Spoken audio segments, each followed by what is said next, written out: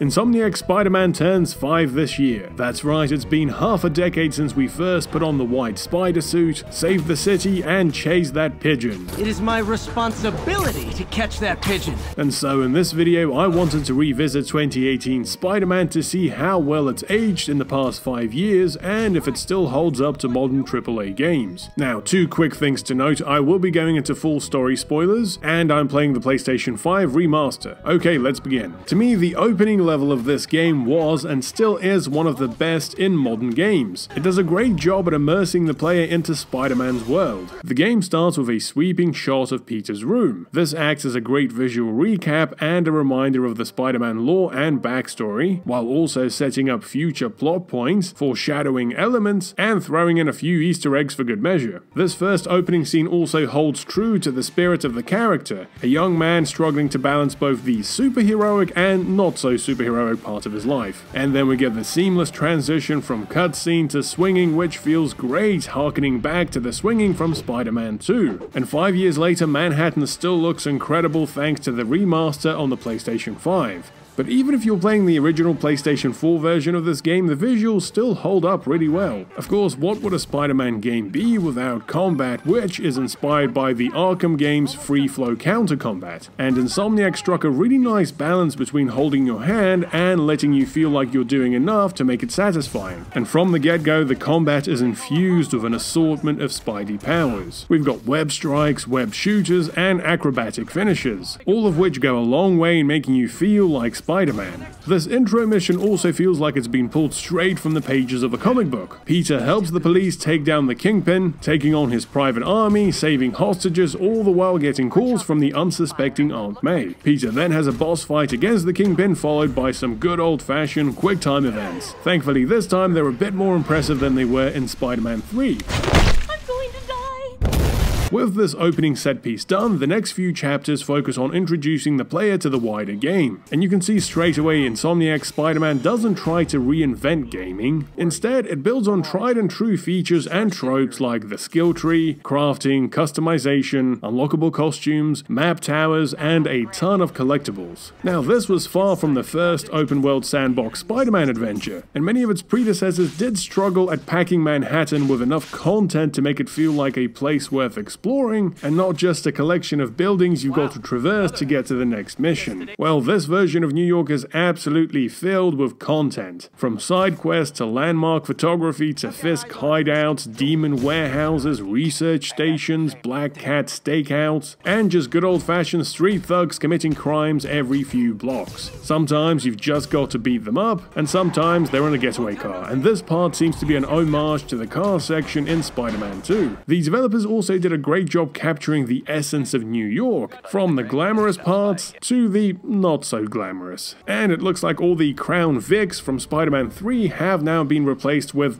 whatever the hell this is. There's no dynamic day-night cycle, instead the time of day changes depending on the story. And speaking of appearance, I'm not quite sure why they decided to change Peter's face. When it comes to the main campaign, a big chunk of the missions will have Peter swinging, crawling, and punching his way out of situations. And these are the ones that stick in your head when you remember this game, but replaying it, I was surprised just how many of the missions weren't Spider-Man based. In fact, the very second mission in this game has Peter in a lab coat doing some basic puzzles. And it's almost like the developers are telling you, look, don't expect every mission to be this grand set piece. But even these slower paced missions are often packed with a bunch of background elements that give added depth to the story and characters if you choose to explore them. Ah, oh, Mr. Lee, what a kind billionaire philanthropist. If anyone was ever not a supervillain, it would be this guy. Insomniac Spider-Man also borrows the Arkham game's stealth gameplay and perch takedown mechanics. It's funny how none of these generic goons ever look up. And speaking of stealth, let's talk about the MJ sections. These were seen as the most boring parts of the game when it first came out, and I'm afraid they haven't exactly aged well. Look, I appreciate that having another character's point of view gives a broader perspective to the plot, but the gameplay itself, especially early on, makes the clue finding segments in LA Noire feel exhilarating. And I think it's the contrast that makes it feel so jarring. If this was like a JRPG which was already filled with walking and talking, then sections like like this would probably fit better. But a lot of these missions are spliced between web swinging, helicopter fighting, gravity defying Spider-Man missions. Now, when it comes to the plot, not making this an origin story was a really smart move. Peter has already been Spider-Man for 8 years. This means there's already a fair amount of backstory, he's got his own rogues gallery of villains, and a bunch of personal baggage. The story starts with Peter and MJ actually broken up. Norman Osborn isn't just CEO of Oscorp, he's also mayor. However, this being an original Spider-Man story, it allowed for the developers to rejig several of the established canon elements. For example, at the start of this game, Miles Morales is just a regular kid, and Otto Octavius is still just a scientist. In this timeline, him and Norman actually founded Oscorp back in the day. Osborn's hubris and Octavius's resentment actually end up driving the main plot. And speaking of character, I really like that the game remembers to focus on Peter's personal struggles every now and then. Wedged between all the high stakes action, we get missions like this where Peter gets evicted from his apartment and has to look all around the city for a garbage truck with his stuff. But of course, the bread and butter of this game are still the big set pieces, like the Fisk Tower attack, which ends with a wrecking ball helicopter chase through the city and an over-the-top takedown sequence. With the player fully immersed in the game's plot and sandbox, Act 1 of the game ends with a major story pivot. The Demon Gang attack Osborn during a rally, although for a moment it does look like one of those medication ads. When headache strikes, when heartburn strikes. Anyway, we're introduced to Miles Morales, whose father tragically dies at the hands of the demons who are run by Mr. Lee. Oh no, not you, Mr. Lee. The game's second act has Peter and his allies try to stop the mysterious demon gang and find Martin Lee, or as he's better known, Mr. Negative. We get more combat-based Spidey missions and more MJ missions, but it's not all just fighting and sneaking missions like the Halloween college party is another standout. I like all the different Spider-Men in this one, the dancing Spidey, the depressed Spidey, and the dad bod Spidey. Peter then sneaks into the Oscorp building and finds out that Norman has accidentally created a bioweapon called the Devil's Breath, and this is what Lee and the demons have been trying to steal. That's terrible, but it's nice of Norman to put all of this into a stylish PowerPoint presentation. As the story goes on, the city slowly gets enthralled in chaos. Osborn hires Sable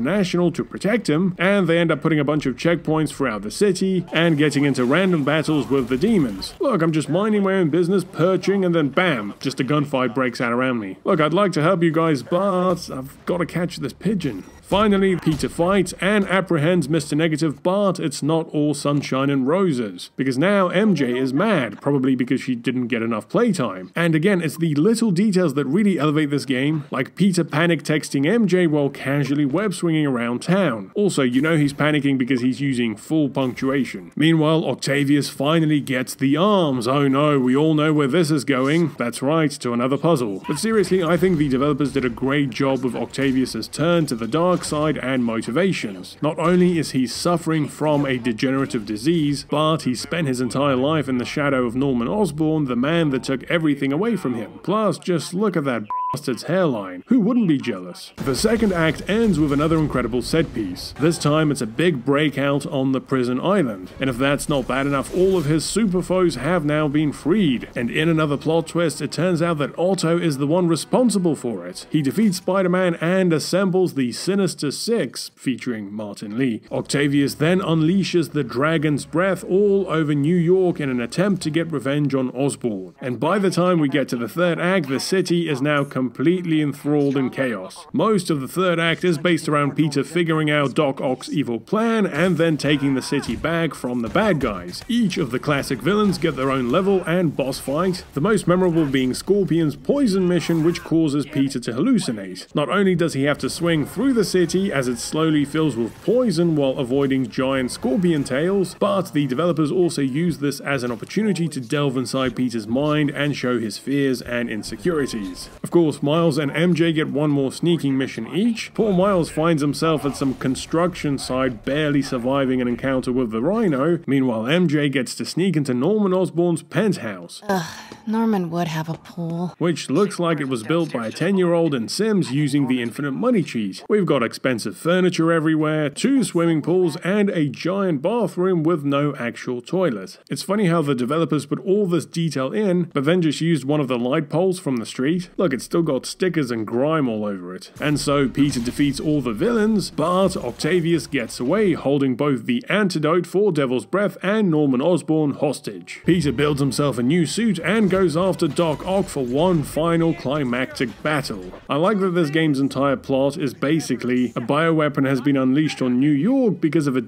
measuring contest between two boomers. As expected, the final battle is a great set piece, but it chooses to focus less on the action and more on the characters and the emotional conflict, which is what Spider-Man has always been all about. Peter defeats Doc Ock, but ends up losing a mentor and a friend. And to make things worse, he then has to make the trademark impossible choice. Use the only vial of antidote to save his aunt, or synthesize it and save the entire city. The game ends with an epilogue set a few months later where Peter and MJ end up getting back together and Miles reveals his new powers, setting up the spin-off. And of course there are three DLCs which I won't be covering in this video but they're also very good. And so there we have it, Insomniac Spider-Man. So, how well has it aged in the past 5 years? Well, let's start with the story. I was really impressed with how well the game balances so many plot threads. The friends turned enemy story between Peter and Otto, the other bad guys like Fisk, Lee, and the classic villains. Norman Osborn's story is flashed out, as are Peter's interpersonal stories with MJ, May, and Miles. Although that last one does feel a little shoehorned in for the future spin-off, but you can kind of let it slide because it also turns out to be a really good game Saying that, none of the characters in this game feel like they're making an extended cameo or ticking some kind of a box. Each one has their own motivations, fears, struggles, and unique relationships with Peter. The story does ride by the character of Spider-Man, balancing both the superhero with the personal struggles of Peter Parker. In the past five years, we've had several very good big budget Spider-Man stories, and I think this one is still on par with the best of them. Now, gameplay wise, I think Insomniac did a great job in crafting a comprehensive comprehensive modern open world game. Yes, it does lean on many of the contemporary sandbox tropes, but it executes the vast majority of them really well. Manhattan is a joy to web swing around and it's filled to the brim with side quests and easter eggs. The combat is sleek and satisfying, throwing in new moves and tricks to avoid getting stale in the later sections of the game. Yes, the MJ and Miles missions along with the occasional puzzle sections do feel like a bit of a lull in the gameplay, but the dozen or so major set pieces scattered throughout the campaign are so good that they more than make up for it. The rich gameplay and sandbox mixed with the PlayStation 5 remaster mean that this game is still on par with today's AAA releases. In short, Insomniac Spider-Man is both a great game and a great Spider-Man story, and five years later it's become a classic which spawned a great spin-off and is about to get a full-on sequel. And good luck to it because it's got big shoes to fill. But that's gonna have to be a topic for another video. In the meantime, please let me know your thoughts on Insomniac Spider-Man. Do you think this is the best Spider-Man game ever made? And if not, why and where would you rank it? As always, thanks for watching, please consider supporting me on Patreon, and a big thanks to all my existing patrons. Also, if you've enjoyed this video, please like, subscribe, and hit the bell. Thanks for watching, and I'll see you next time.